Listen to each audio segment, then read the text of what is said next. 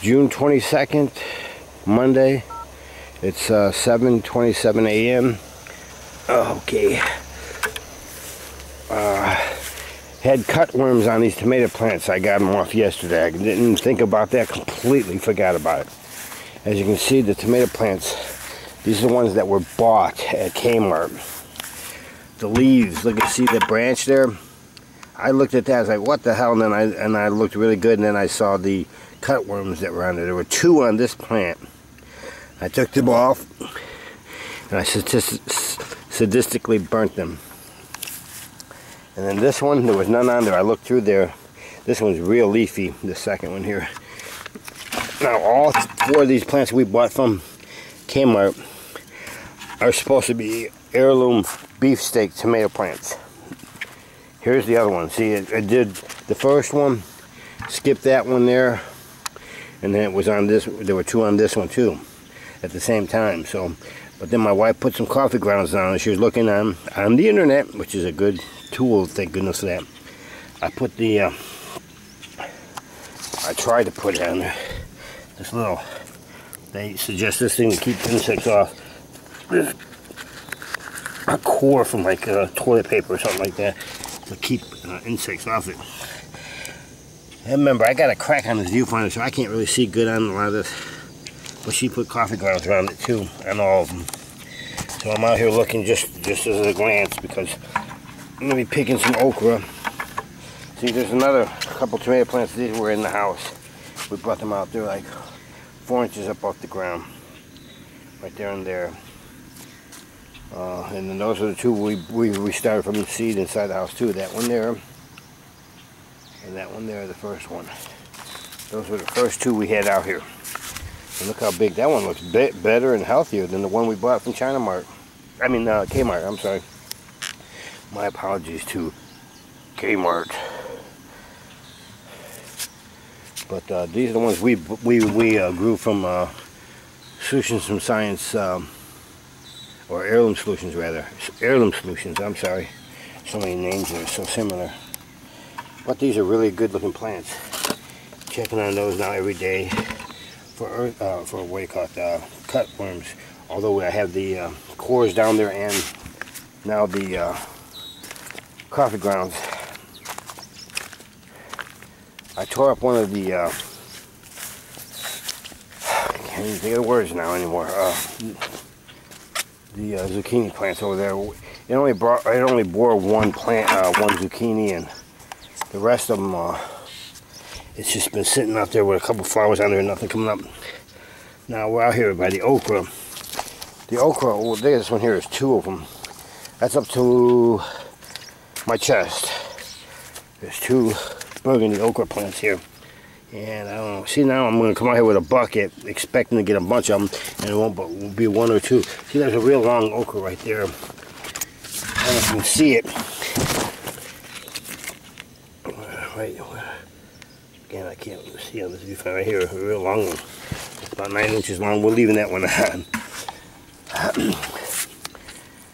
oh goodness.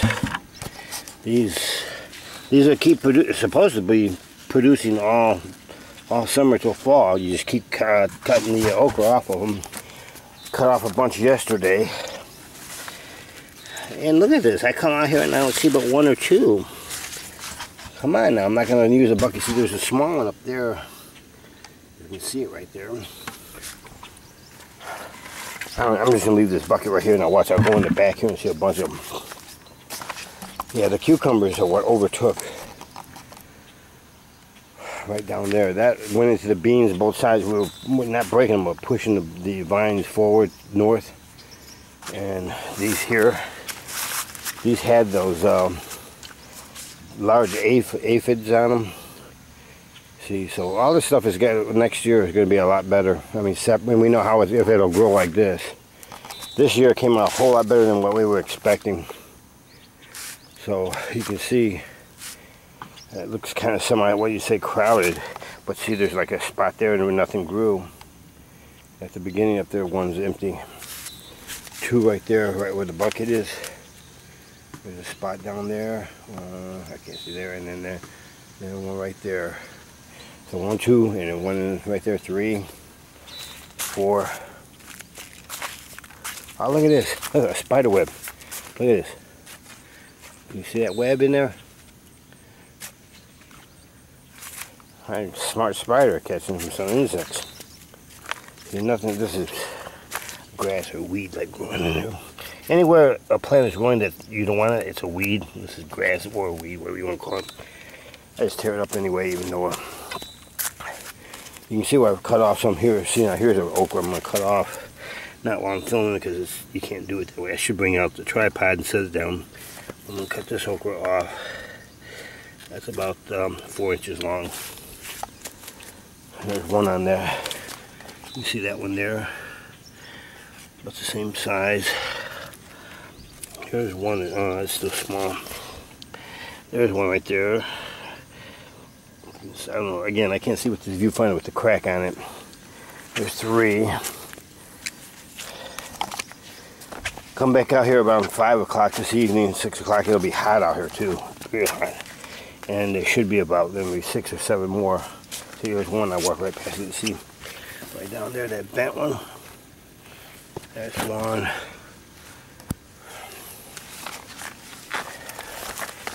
Peanut plant. Four peanuts down there to make that plant.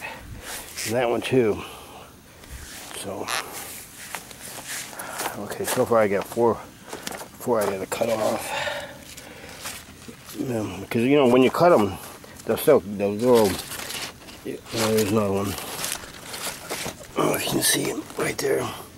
Another one, five.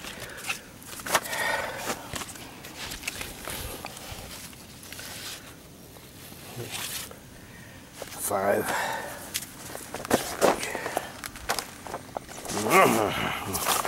This will break my neck. Wow, a lot of these green ones don't have any pods on them yet. All the burgundy are the ones I've been getting the pods off of. Whoa, whoa, whoa, these my bad ones. Yeah, there's five out here. And they're all burgundy. This is the pumpkins that we're not going to have next year. We use these, uh, uh. This is so bad. Torch sunflowers. I come out here, every time I come out here, there's been a bee up on top. One of these two plants here, a bee.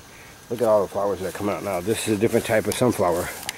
It's like an orangish one, and it's more like a top flower, whereas the torch sunflowers, not torch, Titan sunflowers are the ones that the classic yellow face ones that open up. That's they're mixed in there too, but you can see these these are shaded.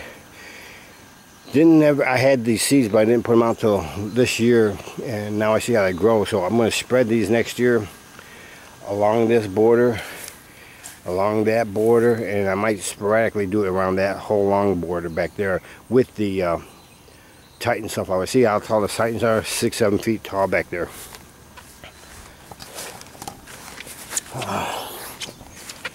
Yeah, see, here's the cucumber, how, how spread out they are.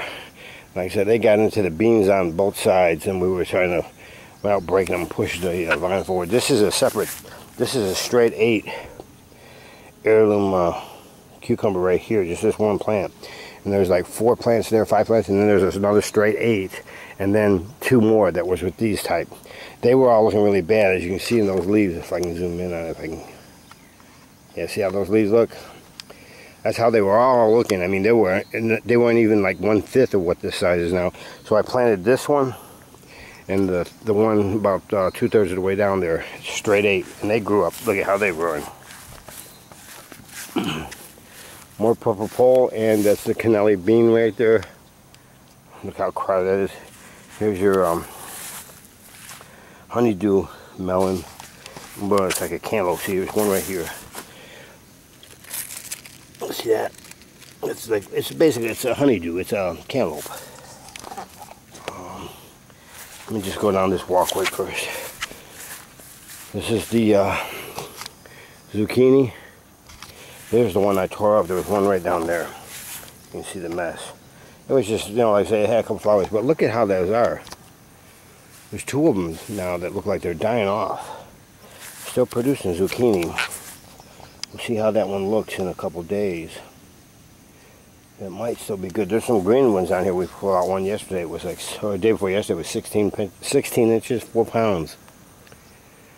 And then here's your, this is a purple hull pea, and those three right there are purple hull peas. Oh, I can't see. I got this. Purple hull peas, and this is a purple hull pea. Then we got black eyed peas. And, uh, you know, black eyed peas, we usually eat them dry. Like people buy them in a bag in the store. So, we might pick some. See the bee right down there? That's that's what's all over these. It's just kind of cool to see these bees all over.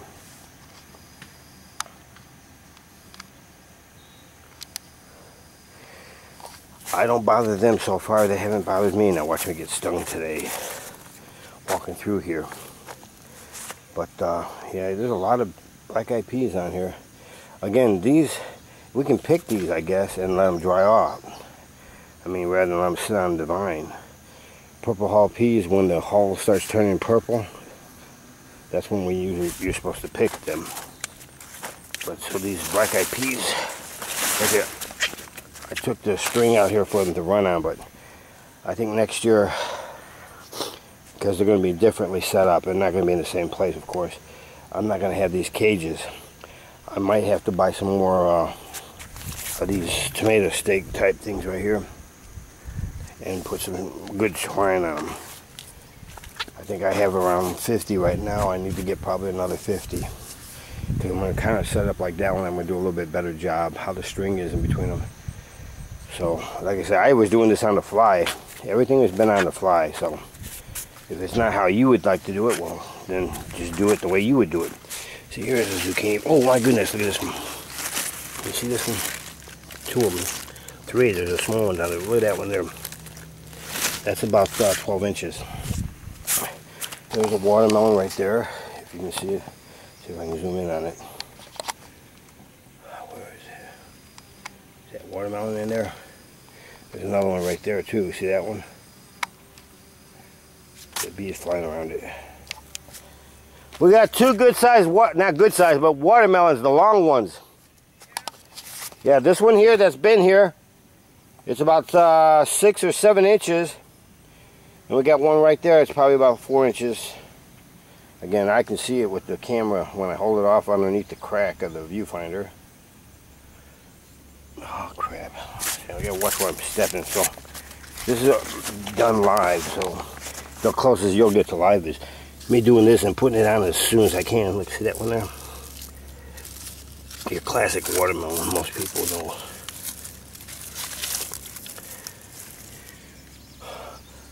the only difference is this is going to be a lot healthier for you than the crap you buy in the store. So you got that one, got that one. All my broccoli is going to go to seed because uh, I just didn't do it right. We didn't space it out right. We're going to put two of them in buckets and grow them out of five gallon buckets. Like that Kmart bucket I showed you. Over there, if I can find it. We got uh, four of those. We might get some more of those too. We were going to grow tomato plants in that on the front porch, but what we'll end up doing is growing two broccoli. Two or three, you know, actually four broccoli, two in each bucket.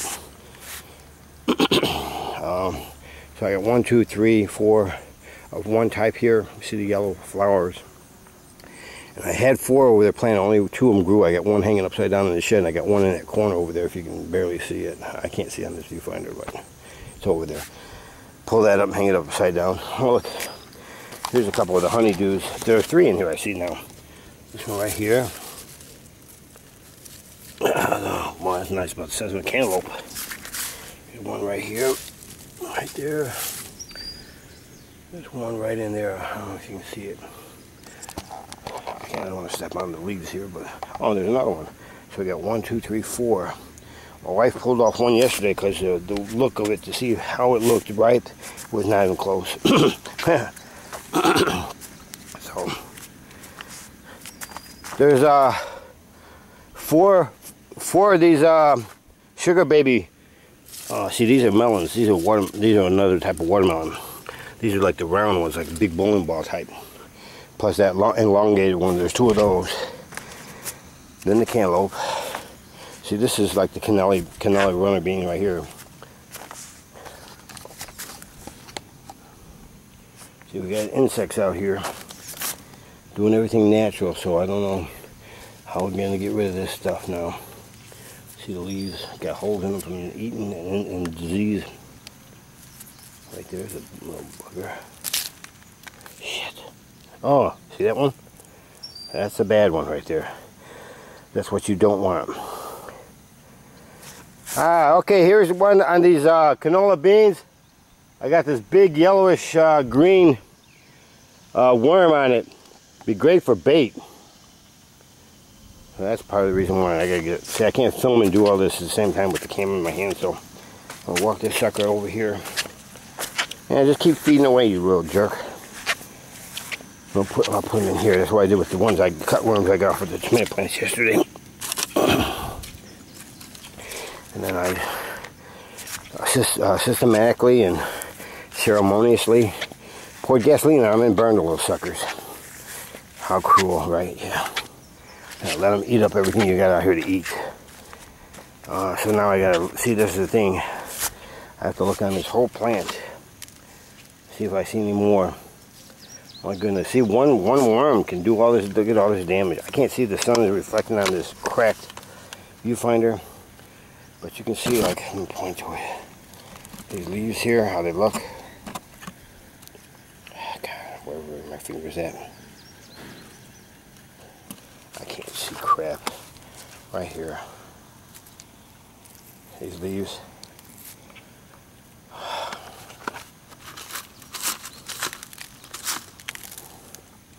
Eat up. It's your last meal. See, I gotta go out here and check all this stuff. Oh, man. That's, you know, that's the downside of having a garden. You get, that's, uh, you get worms and bugs out here aphids or worms generally. And I just happened to move that leaf over and I saw this one out here, so I'm going to be like doing this in the dark. So let me uh, put this over where I'm going to burn them. And then uh, stop videotaping, so it's our video recording, because there is no tape anymore. And to show you, that's the garden. I pulled out the sweet pea cages. There's one growing over there I left one cage where two small plants are at the ground. I'm not going to walk all over there. But uh, here's your okra over there, your purple pole beans, uh, your runner, canali, canali, canela, canali, whatever, runner bean, cucumber, more purple pole beans, canela runner beans, honeydew, watermelon, zucchini, purple hull peas, the last three and the last row over there, and then one, and then black eyed peas. And I got Jackson runner beans I just planted a couple days ago. So they're small. Right there, and right there. I got emperor, giant emperor beans here, right there. You see it growing, don't you? I've had no luck with those at all. So, and the four tomato plants from Kmart. One, two, three, four. My tomato plants I grew from inside the house. There's some inside the house right now. They're all about the size of these two right here. These are from inside the house. Uh, and I can't see on this viewfinder, so you'll see two two tomato plants, which is two stakes, half stakes. And they should look like that eventually. and I got pepper plants bean plants in the back there, painted pony beans. This here, I put down two seeds. I wasn't sure if this was a, uh, I didn't know if that was a uh, cucumber or if it was a honeydew. And to tell you the truth right now, I believe those are honeydew melons. Two of them. Purple pole beans in here and then a wasted space pine, uh, pumpkin. Gonna get rid of those. So the flowers attract the bees around here, which you see them in the garden. And there's my two tomatillos, one of them's dying. I planted two more seeds down there. I can't really see where that tomato stake is. There's, uh, uh I can't see, like down here. There should be two, uh, three seeds down there with tomatillos. There's a pepper plant I put down there.